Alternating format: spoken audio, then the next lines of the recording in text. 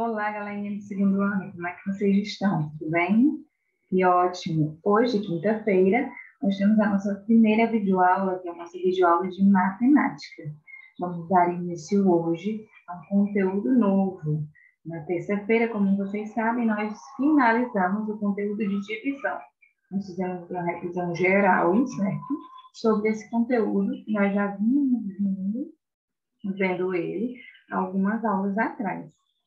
Hoje nós vamos dar início ao sistema monetário. Que é isso? Eu não conheço. Conhecem sim, todos vocês conhecem esse conteúdo, certo? Mas eu vou deixar vocês curiosos um pouquinho para saber o que realmente é, que é que esse conteúdo vai abordar. Vocês podem deixar o livro de vocês aí ao lado para acompanhar na hora da atividade, mas a explicação está toda nos slides.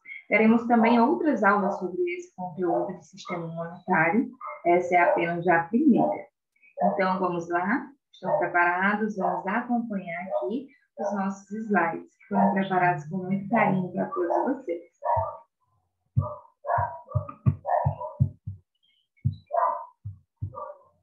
Vou aumentar aqui a nossa telinha. Olhem, pra, olhem aqui para o fundo, certo, do nosso primeiro slide tem a ver com o nosso conteúdo de hoje.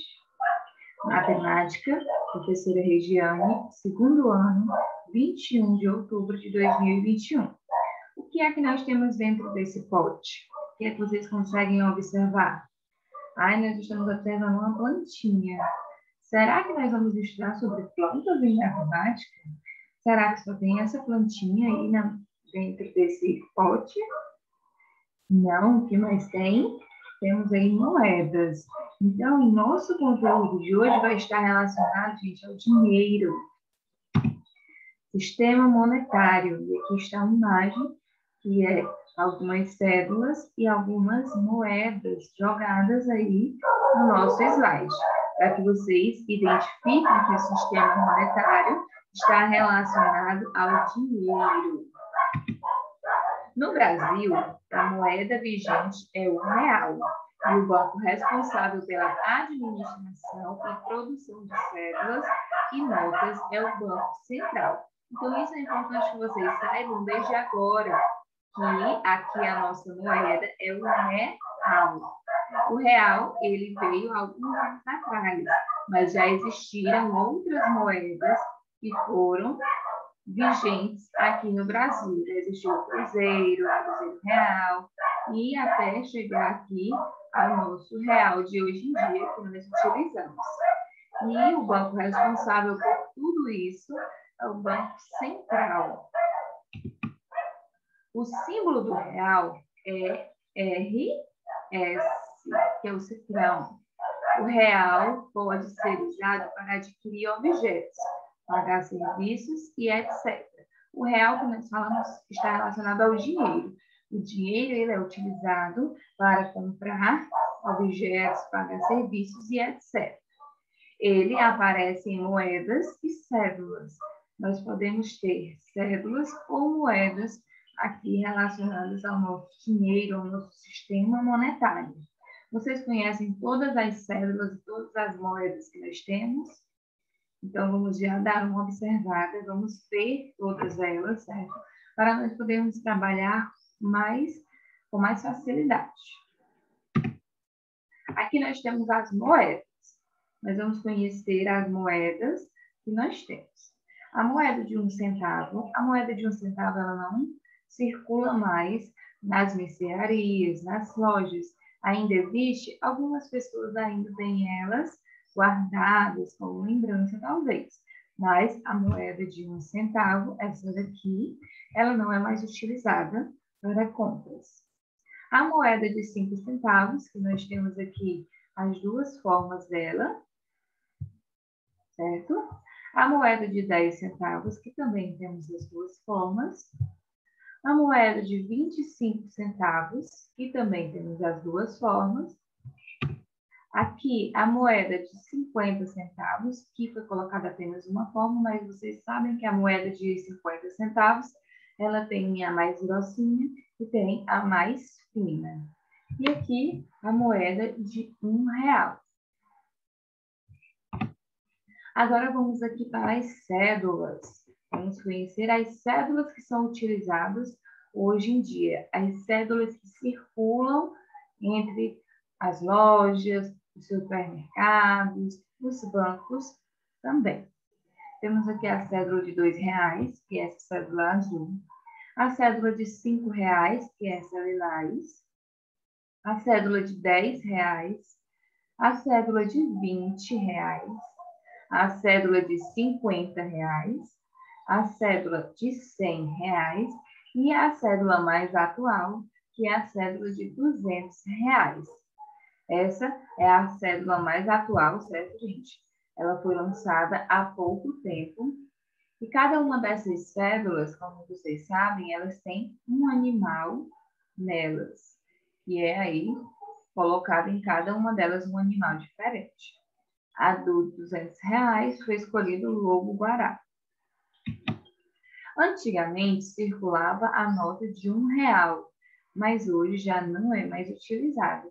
Vocês ainda chegaram a ver essa nota aqui de um real? Há pouco tempo, ela foi, ela parou de circular nos supermercados e nas lojas, deixando espaço apenas para a moeda de um real. O real foi lançado em 1 de julho de 1994. Quer dizer que antes não existia dinheiro? No início, bem lá no início, as pessoas utilizavam as trocas de objetos para ter aquele objeto que elas tanto queriam. Com o passar dos tempos, foram criados dinheiros, mas como eu falei para vocês, já existiram vários antes do real. Aqui nós temos a cédula de um real, de dois reais, de cinco reais, de dez reais. Essa daqui é a cédula antiga de dez reais, gente? Ó, essa daqui é a atual a cédula de 20 reais, a cédula de 50 reais e a cédula de 100 reais. Antigamente, eram utilizados outros meios de troca para se obter algo, como eu acabei de falar para vocês. Hoje, nós utilizamos o dinheiro. Quando nós queremos algo, nós trocamos ali pelo valor que é pedido naquele objeto. Nós dizemos que nós estamos comprando algo. Vamos agora observar alguns objetos que compramos e quais cédulas ou moedas devemos utilizar. Aqui eu tenho uma blusa e esta blusa é 20 reais. Eu posso utilizar uma cédula de 20, eu posso utilizar duas cédulas de 10, mas por que, tia? Porque 10 mais 10 é 20. Aqui na, no sistema monetário, vocês vão poder trabalhar também a soma, a subtração, a multiplicação e a divisão. No sistema monetário, nós poderemos trabalhar as quatro operações matemáticas. Aqui é um exemplo que eu posso ver quais são as cédulas que somadas dão 20 reais, por exemplo. Aqui eu posso ter quatro cédulas de 5 porque 5 mais 5 é 10, 10 mais 5, 15, e 15 mais 5 é 20. Eu posso ter 10 cédulas de 2 reais. Eu posso ter 20 moedas de 1 real. E assim vai, gente. Então, eu posso ter aqui 20 reais de várias formas diferentes. Aqui nós temos uma calça com 70 reais. E eu tenho uma cédula de 50 e uma cédula de 20. Que aqui é a forma mais prática de pagar essa calça. Mas nós podemos trocar por outras cédulas? Podemos sim. Podemos também dar cédulas maiores e receber o troco, utilizando aqui a subtração. Se eu desse 100 reais, eu subtrairia por 70, que é o valor da calça, e teria o meu troco de 30 reais. O que foi 15 reais, eu tenho uma cédula de 10 e uma cédula de 5 reais. Uma Coca-Cola de 6,50. Aqui eu tenho uma cédula de 5, uma moeda de um real e uma moeda de 50 centavos. Um bolo de 12 reais, eu tenho uma cédula de 10, duas moedas de um real. Poderia ser uma cédula de dois reais? Claro que poderia. Então, nós podemos ver as melhores formas de nós fazermos os pagamentos daqueles objetos que nós queremos comprar. Precisamos utilizar as operações matemáticas para saber administrar nosso dinheiro. Ah, quantas moedas são precisas para eu ter 10 reais? Quantas moedas de 10 centavos são precisas? Então, nós precisamos utilizar aqui as operações matemáticas para descobrir o que eu quero saber em relação ao meu dinheiro. 50 centavos. Eu tenho aqui 0,50 para representar 50 centavos. E eu tenho aqui com moedas de 10. Eu preciso de 5 moedas de 10 centavos para ter 50 centavos. Um real. Eu preciso de 10 moedas de 10 centavos para ter um real. Linguagem financeira. Abatimento ou desconto é a redução, o que se paga menos ao efetuar o pagamento. Multa é o que se paga a mais fora do prazo combinado. Vencimento é o prazo em que se deve pagar uma dívida. Imposto é uma contribuição que se paga ao Estado ou município sobre imóveis, rendas e etc. Lucro é o ganho ou vantagem na compra ou troca de um produto. Taxa, remuneração paga por serviços que o Estado presta, com juros, multas, impostos e tributos. Prejuízo, perda ou desvantagem na compra ou troca de um produto. E comissão é a porcentagem que o vendedor recebe sobre as vendas que efetuou. Então, aqui são algumas palavras que são utilizadas gente, em relação ao dinheiro, em relação às compras que nós precisamos. Aqui no livro de matemática de vocês, trabalha a questão de quantas moedas é preciso para ter um real de formas diferentes. Quantas moedas de um real precisamos? Quantas moedas de 50 centavos se precisa para ter um real? Quantas moedas de 25, quantas moedas de 10 e quantas moedas de 5 se precisam para ter um real? Então, como eu falei para vocês no início, a quantidade de moedas que nós temos vai depender de qual moeda que nós queremos e qual é a quantidade do valor que nós queremos atingir. No livro de vocês trabalha a questão de um real, mas podemos utilizar com qualquer valor.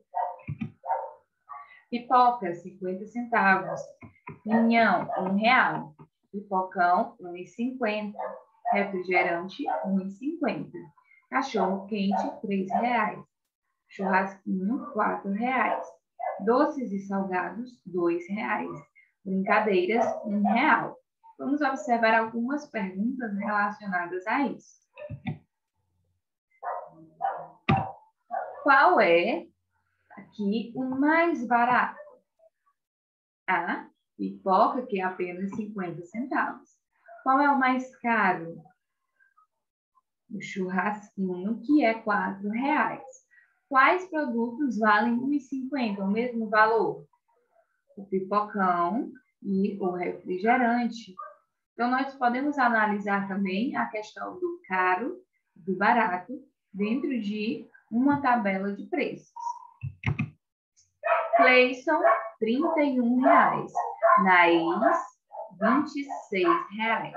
Eduardo, R$19,00. Como é que eu sei o valor que cada um deles tem? Eu faço uma soma. 10 mais 10 mais 10, 30. 30 mais 1, 31. 10 mais 10, 20. 20 mais 5, 25. Mais 1, 26. 10 mais 5, 15. 15 mais 2, 17. 17 mais 2, 19. E aqui nós temos também os valores em um panfleto de supermercado, onde vocês podem trabalhar aqui a questão de quantos reais vale, quantos centavos, a questão do sistema monetário em si, que está todo aqui. porque nós estamos falando sobre dinheiro, sobre valores. Quanto vale ali a maionese? Um real e noventa e oito centavos. Então, o real ele fica antes da vírgula, os centavos fica depois. E agora nós vamos para a nossa atividade, certo, gente? Sobre esse conteúdo que é muito legal. E nós vamos trabalhar aqui três páginas sobre ele. A página 153, 154 e 155 do nosso livro. Tia, eu tenho que fazer o restante? Não, gente, nós teremos a outra aula que vai falar também sobre o sistema monetário e nós faremos as atividades. Então, 153, 154 e 155. Na página 153, diz assim: Qual dinheiro é utilizado no Brasil? Quantas moedas do real temos em circulação? Como assim, tia? Quais são as moedas que nós temos em circulação, como eu mostrei para vocês nas imagens dos slides? A de 10 centavos. Aí vocês já vão saber, tá bom? Eu não vou terminar de dizer. Quantas cédulas do real temos em circulação? Quarta, use a sua criatividade, pegue as moedas que temos em circulação e faça decalques usando seu lápis de escrever. Como é que eu faço isso?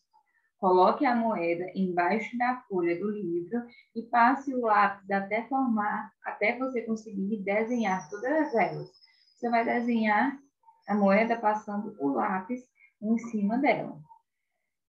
Como podemos obter um real com moedas de 10 centavos, 50 centavos, 25 centavos? Aqui nós temos na página anterior a resposta. Sexta, observe as moedas. Circule a moeda de maior valor e marque um X na de menor valor. Qual é o símbolo do real? Quantas moedas de 5 centavos são necessárias para ter 25 centavos, 50 centavos, 10 centavos? Nona, quantas moedas de 10 centavos são necessárias para ter um real, 50 centavos e 30 centavos? Décima, circule a moeda de 25 centavos. Faça um X na de um real e risque a de 50 centavos. E a página 155, se eu tenho 25 centavos e ganho 50 centavos, com quanto eu fico? Aqui nós já estamos utilizando uma das operações matemáticas. Felipe e Rafael têm 70 centavos. Beto e Sandro têm 75. Qual dessas duplas tem mais dinheiro? Aqui já é outra operação matemática. Décima terceira, circule a cédula de maior valor e marque um X na de menor valor. Então, aqui na última, nós já estamos trabalhando as cédulas, certo? Um beijão para vocês, meus amores. Não percam a aula de ciências de hoje. Qualquer dúvida, estarei aqui. Tchau, tchau.